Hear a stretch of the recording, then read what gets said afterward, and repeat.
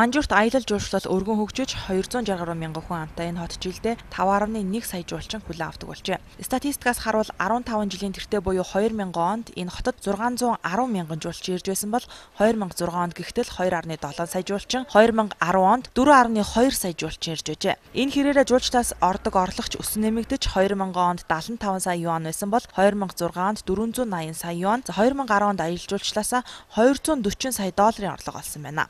Ирж байгаа жуулчдын 53.3% нь Манжуур хотод дунджаар 500-аас 1000 юаны худалдаа 8 хийдэг бол 26.7% нь 1-ээс 2000 юан, за 10% нь 2000-аас дээш юан зарцуулдаг гэсэн тооцоо гарчээ. Жуулчдын дийлэнхийг дотоодын аялагчд буюу эдийн засгаараа дэлхийд тэргүүлэх болсон хятадын иргэд амарч зугаалах аялахаар Манжуурт их ирдэг байна. За үүний дараа мэдээж хил залгаа оршдог Оросын жуулчдаа. Монголчуудын ирээнлүү чиглэсэн мөнгө урсгал ирээнийг хөгжүүлсэн гэлцдэг шиг Оросууд Манжуурыг өдий зэргийн дата хөгжөхөд хамгийн их нөлөөлсөн гэж үздэг. Энэ утгаараа Манжуурт альч дэлгүүр захаар орсон Орос хэлээр ярилцаж рубль юаны аль дуртаагаар нь тооцоо хийх боломжтой. Барааны үн ханш тимч өндөр өртөгтэй биш. За хятад бараа муу хятад бараа чанаргүй гэдэг нэр дэлхийд даяар тарж байгаа сэтгэл зовсон хятадууд өөрсдөө дэлхийд хүлээн зөвшөөрөгдсөн брэнд гаргахаар ажиллаж хятад улсын 99 компанийг сонгож авч Манжуурт Ванда хэмэх энэхүү сүлжээ дэлгүүрт бүтээгдэхүүнээ зардаг болсон байгаа. За энэ дэлгүүр нь бол Манжуурт байрлах хамгийн том дэлгүүр буюу за манайхаар бол улсын их дэлгүүр гэж ойлгож болох юм а. Мэдээж тус дэлгүүрийн бараа чанартай бусад дэлгүүр захуудыг бодвол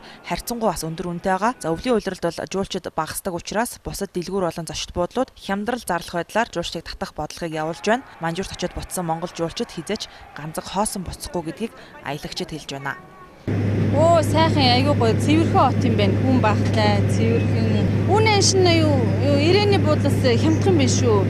Ирээний тэр гайгүй 3 отож очит буудал нь 240 он гэдэг байсан бол эдний 3 отож очит буудал нь хоногт 80 он шүү. Нэг орон 40 он. Тэгээ бит хоёр чинь нэгдүгээр өдөр ирээд өнөөдөр буцаж чинь ихтэй чинь ерөөсөө 320 он төлөв гарч ирж чинь. Яг тэгээд захаа олоо явуул айгүй гоё тийм чанартай бараа зөндөө байд юм биш үү. Цаг агарын үед агаар нэг хүүтэн байна. Яг Монголтай адилхан. Магадгүй барааны үн бол боломж юм. Ер нь булах хямдхан байдаг юм. Монгол хоолж байна, хятад хоол байна, орос хоол байна. Бүгдийг үзлээ. Би бол та зүгээр бараа 8 гэж явсангүй зүгээр сайхан найзуудтайгаа уулзчаал уцаад нисэж байгаа.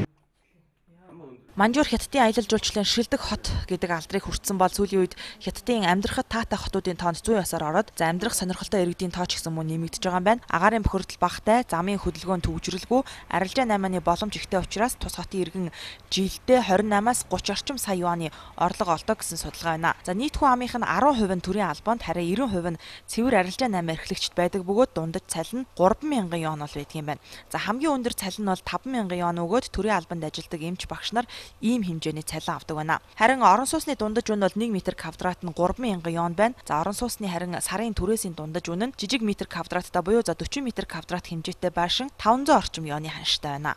Судалгаанаас үзэхэд бол одоо дөнгөж монголчуудын хувьд бол Манжуур бол шинэ хот байсан шүү дээ. Одоо л ерөнхийдөө ихэнх нь бас мэддэг болчлоо тийм Манжуур юм цэвэрхэн жижигхэн тэгсэн мөртлөө нэлээд худалдаа болт сайн ер нь говьхон амраад ч явж бол. Энэ өвлийн үйлрэлд бол манайх шиг одоо их утаатай газар бол нялх хөөхтэй хүмүүс бас хэцүү те. Тэгэхэд энд бас ирээд их гоё байна гэж ярьж байна л та. Тэгээ хүмүүс энд ихэвчлэн энд одоо амрах гэж ирдэг болсон. Жохоо хөөхтэй дагуулаа эсвэл гэр бүлэрээ ч юм уу Зун намрын сард олонний хүлд дарагдаж хэдэн зуун мянган жуулчин нэг дор хүлээж авдаг Манжуур хот өвөлдөө намгүн болж жуулчдын хүт хөдөлгөөн харьцангуй бага байна. Үслэг идэл арьсан гутлаараа зартай энэ хотыг зорьсон монголчуудын цуваа агаарын замаар үргэлжилсээр тодруулбал Хүнвэр компанийн чиглэлд 7 хоногт 2-оос 3 удаагийн нислэг үйлддэг болоод за 1 жилийн хугацаанд 10 гаруй мянган монголчууд Манжуурыг зорьсон гэсэн тоо гарчээ.